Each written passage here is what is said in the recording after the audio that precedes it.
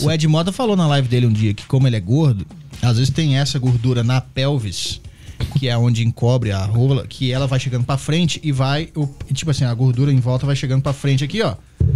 E o pau vai ficando, né? Encasacado. Mas ele falou que se ele pegar essa gordura, ele, ele falou que mesmo assim é grande, o Ed Mota. Porque ele é mistura de italiano lá com negão e tal. Ah. E aí ele falou que, mas se ele pegar isso aqui e dar uma apertada, fica tipo descomunal, ele falou. É? Falou. Então, então Vê, será que tem esse trecho no YouTube? Ed Mota falando da própria Benga. E o Hélio de la Benga? O Emílio falou que o Hélio de la Penha do Cacete do Planeta é o Hélio de la Benga, né? Ed Mota Pênis. Rei do Rei do sexo. Vai, deve ser isso aí. Vou botar na tela aqui. Dum. Ed Mota fala que nunca falou com seus vizinhos.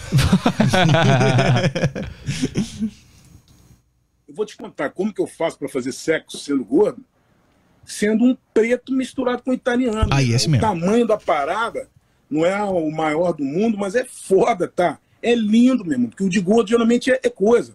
Mas é lindo, tá? É bom pra caralho, família. Tá? É Família. excelente, tá? Depois da minha voz, a coisa que eu mais tenho orgulho é do colega meu. Tá? Que o tamanho é bem bom, porque eu sou a mistura de italiano com preto, maluco. Tu acha que essa porra vai vir com problema? Então, mesmo eu, tendo, eu sendo gordo, esse troço é um tamanho lindo. E se eu- o gordinho tem aquela carninha que fica em cima, se eu puxo aquela pele, maluco, eu, se eu puxo aquela carne, o tamanho desse troço fica descomunal, tá? Descomunal. Eu posso fazer qualquer posição. Se o ser humano vem por cima, tá? O ser humano. O ser humano vem por cima e eu trabalho ali. Quem tá recebendo aquilo lá, lá dentro, maluco? É tipo assim. Tá? Tá bom. Peraí, bicho. O nego vem brincar com essas paradas. Mas, pô, corre o Brasil aí, maluco. Sério, corre o Brasil e pergunta pra grupo, pra tu. Pergunta se alguma vez teve algum problema em relação Ed a isso. comedor de grupo. Edinho tá lá, ó. Edinho tá lá. Falhar, eu falo um monte de. Falhar, eu já falei milhões de vezes, tá? Falhei muitas vezes. E vou e falhei, isso é padrão, tá? Mas o, o, o tamanho do teclado não é ruim, não, cara. Não é um piano de cauda, mas é um meia cauda muito bom, cara. Um meia cauda assim que. Puta que pariu, tá? Meia cauda grosso, tá? Porque a turma quer é grosso, maluco. É, é, é o troço pra turma. preencher. Peraí, bicho. Tá? Peraí. Peraí, tudo tem que estar explicando, tudo tem que estar falando, pô, tudo é culpa minha. Peraí, bicho. Ver do vizinho. Quero do vizinho. Vamos ver. Ah, comportamental, né? Que merda, tá? Se ele tava de ressaca, Convive todo A cara. mundo junto, assim. Horrível. Convive todo mundo junto. Horrível. Essa é a frase do cara. Eu nem sei, Christian, como é que é a vizinhança, eu não conheço ninguém. Tenho que agradecer a Deus por isso. eu nunca vi um vizinho no elevador, nada, malandro. Isso é bem Zona Sul, que é essa área que eu tô aqui. Onde ele É, mora? onde eu nasci, na Tijuca, seria impossível. Ah, ele mora no Rio? Mora no Rio. Você se muda pra Tijuca em 15 minutos, você sabe, não só você conhece o prédio inteiro, como você sabe da vida da pessoa, o que, que aconteceu, alguém começa a contar da vida, não porque minha filha tá com câncer, tá. Começa um lance, tá? Tijuca, lance inconveniente, Zona Norte.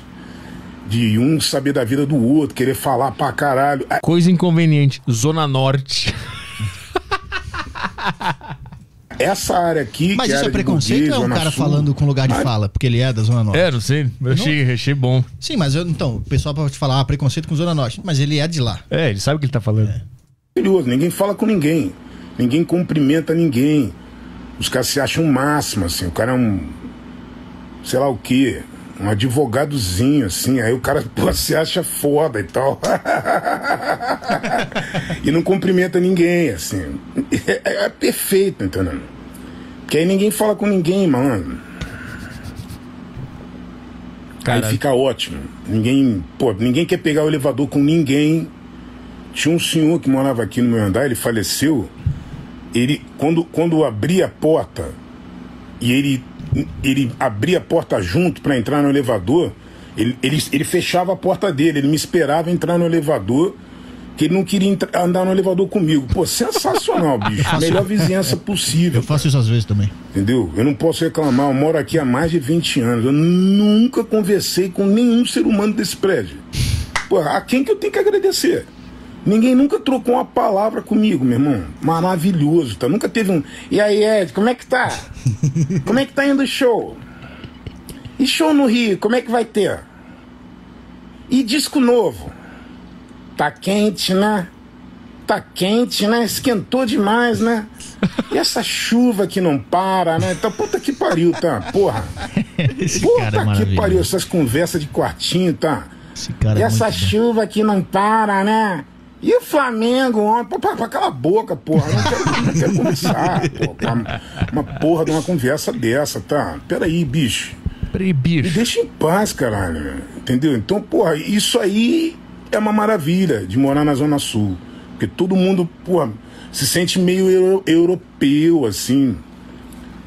Europeu, mas aqui embaixo tem uns botiquim merdão, assim. Um monte de feijão, tudo que tem de errado. De feijão. Porra, e, e aí é, Específico, né? O ódio com um alimento. tem um monte de feijão, tudo que tem de errado, tá? Porra, e, e aí. Tudo que tem de errado. Tem feijão, tudo Feijão tá na lista de coisas Que do ele Ed. odeia, de- de porque é muito coisas- brasileiro. Coisas que estão erradas. É, ele deve detestar feijão. Feijão ele, simplesmente tá errado. ele deve achar até bom gosto, mas porque é uma comida típica de brasileiro, ele odeia. Ele odeia pra caralho. feijão Tem é um monte de botiquim que tá cheio de feijão. Cara, a gente não tá compreendendo a magnitude dessa frase. A gente tem que, a gente tem que Contemplar um pouco essa contemplar frase. um pouco pra, pra, como é que fala? Digerir isso aqui. É, não que feijão seja errado, feijão é maravilhoso, mas o feijão mal feito, tá? Peraí, bicho. Peraí, bicho, adoro isso que ele fala. É, tá quente, né? Tem esse lance, né? Nossa, finalmente saiu o sol, né? Finalmente saiu o sol, é. Gente, quando é que essa chuva vai parar? Falar, porra. Pra que que tem que abrir a boca pra falar isso, porra? Quando que essa chuva vai parar? Ah, cala a boca, porra. Não enche o saco, porra. Eu acho que o Ed Mota ele nasceu É. com uma alma de comediante. Eu ia falar isso agora. Se você gostou desse corte, eu sugiro você assinar lá o Saco Cheio TV, porque lá tem os programas completos. Algumas partes desse programa a gente não pode nem colocar aqui no YouTube, senão dá problema. Aqui é só os cortes de 5 minutos. Se inscreve aqui, dá like nesse videozinho, mas cogita se inscrever lá, assinar o sacocheio.tv. Tem esse programa de informação e tem vários outros programas na grade e a gente pretende ampliar cada vez mais. Você não vai se arrepender, cara. É muito bom. Obrigado.